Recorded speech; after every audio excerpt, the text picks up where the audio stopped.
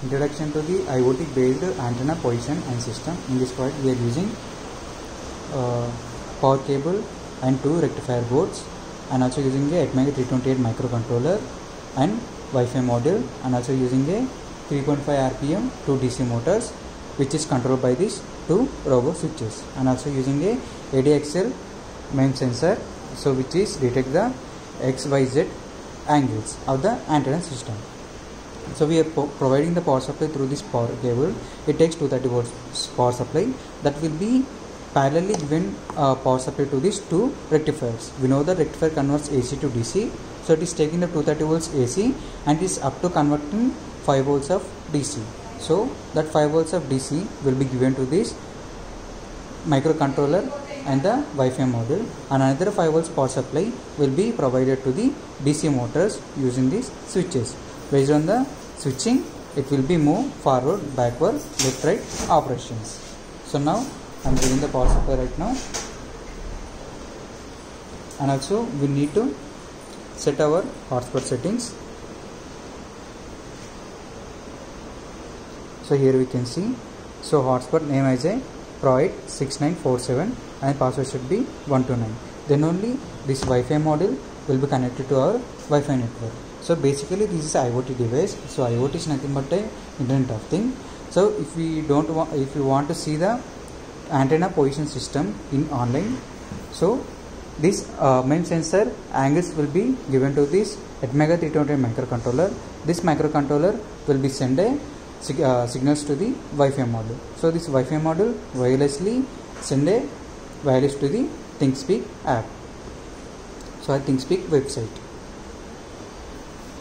so now come to the ThingSpeak so after the login uh, you we can see. So after the login it will be show IoT so here we can see. If we come with the IoT so here we can see the data will be shown here. Is the X value Y value and the Z value. So if I so uh, now I am clearing this uh, data for that one go to channel settings and clear the channel. Don't delete the channel just clear the channel. So data will be erased. So now I will show you again.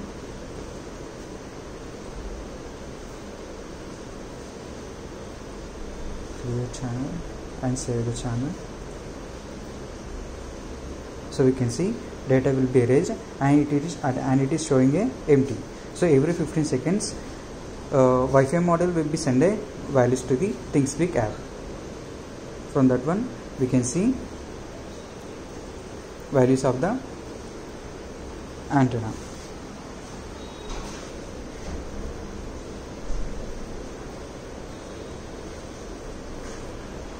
So we can see this is the normal uh, antenna position values when it is changed so we can observe after the changing of this antenna.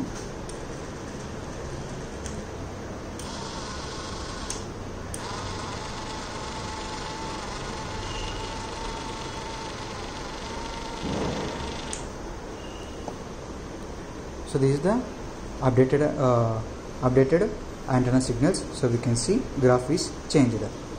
If I change angle again so this uh, x y z values will be changed again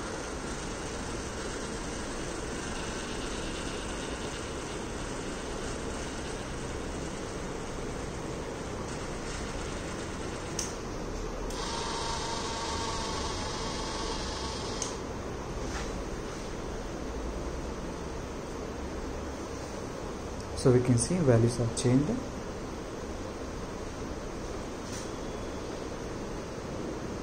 so in this way the an- uh, antenna angles will be sent to the microcontroller. The microcontroller send the values to the wi-fi module. Through wi-fi module we are taking the values from the ThingSpeak app. So in this way this project works. Thanks for the watching